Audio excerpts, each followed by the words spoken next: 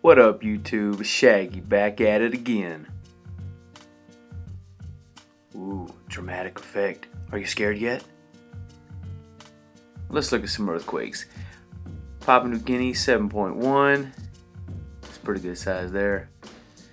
And then of course, the Philippines. 7.1 again.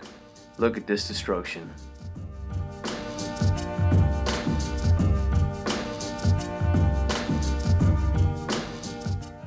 Now, as I said in a previous video, I was pretty certain, fairly certain, that as Comet Ison got closer, we would see larger earthquakes like this.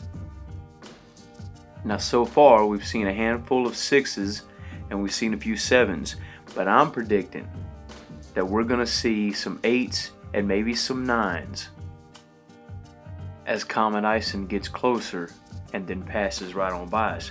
Now, here's some of the latest images of Comet Ison. Looks pretty cool. Got a long tail on it. Now this, I, I, don't know what to make of this. It looks like it could be breaking up or be in different parts. Now here's some sunspot action we recently had, which leads to possible solar flares. And this is something else that the comets can contribute to. And I believe when Comet Ison passes, this may be an issue. Now, please don't fear the creeper. I do not believe this is the end of the world. But I do believe if Captain Kitty says all hands on deck, you should be prepared for anything just in case. Wouldn't hurt.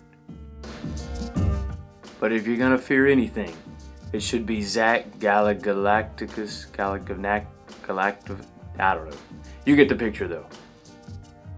But seriously speaking, folks, we know that bad things have happened in the past and uh, it's a guarantee they're going to happen again in the future. You should be keeping your head up and paying attention to what's going on.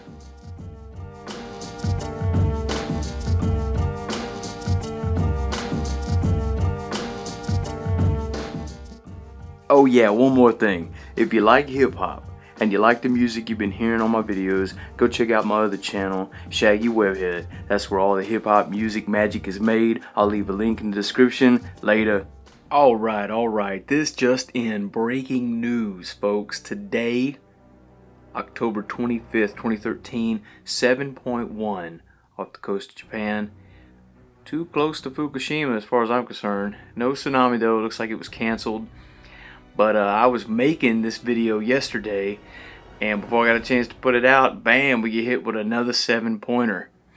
And I'm telling you, I think the closer Ison gets, we're to see more and more larger earthquakes, probably eights, maybe nines. So since none of us really know what's in store, you should keep your head up and your eyes open, and I'll leave you with my motto. Conspiracy happens, and that's not a theory. Peace.